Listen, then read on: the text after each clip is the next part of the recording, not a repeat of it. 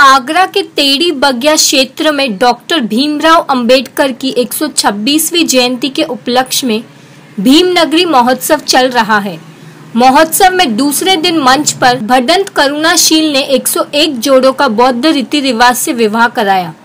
भीमनगरी मंच पर मुख्य अतिथि के रूप में चुनार पुलिस एकेडमी के एसपी डॉक्टर वीपी अशोक ने केंद्रीय भीमनगरी महोत्सव समिति को इस भव्य आयोजन के लिए शुभकामनाएँ दी।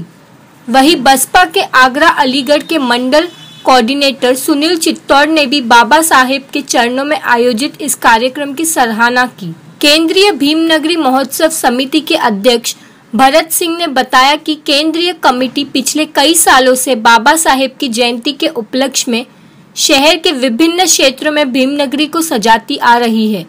केंद्रीय भीमनगरी महोत्सव समिति के साथ मिलकर क्षेत्रीय भीमनगरी महोत्सव समिति के अध्यक्ष आज़ाद सिंह ने भीमनगरी में होने वाले कार्यक्रमों की जानकारी दी। वही कटरा बजीर खान में एडवोकेट एम एल शांत के परिवार की तरफ़ से बाबा साहेब की जयंती पर थाना एटमडोल्ला थाना के सामने भव्य मंच पर कार्यक्रम में बाबा साहेब को याद किया गया। आज भीमनगरी के इस मंच से सम्मान साथियों 101 जोड़ों की हमारे बीच में की गई है। इस आज इस कार्यक्रम से समाज में स्फूर्ति के विश्वास बढ़ता है और दीप अशोक जी आ चुके हैं। से लोगों को मैं चाहूँगा मान्य साहब के पर मैं सभी नव जोड़ों को अपनी ओर से बहुत बहुत शुभकामनाएँ देता हूँ और भीमनगरी केंद्रीय कमेटी के जो भीमनगरी आज की समिति है उन सभी लोगों का दिल से आभार करता। हूँ कि वह इस प्रकार का भव्य आयोजन करने में कामयाब रहे।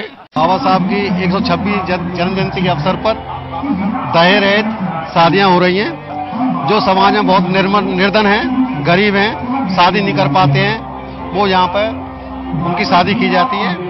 और उनको दानदाताओं के रूप में सिद्धांत की चीज़ें दी जाती हैं भिन्न भिन्न प्रकार से। और बाबा साहब के आशीर्वाद से यह शादियाँ दहेज की रहित हो रही हैं, जो बहुत अच्छी प्रथा है, क्योंकि जो उच्च पैसे वाले लोग हैं, वो तो शादियाँ धूमधाम से कर लेते हैं। गरीब लोगों की शादियाँ नहीं हो पाती हैं। इस प्रथा को चालू करके, इस समाज को आगे बढ़ाने के लिए, गरीब लोगों को आगे बढ़ाने के लिए ये आदत रहित सोलह तारीख को विवाह उत्सव संपन्न हो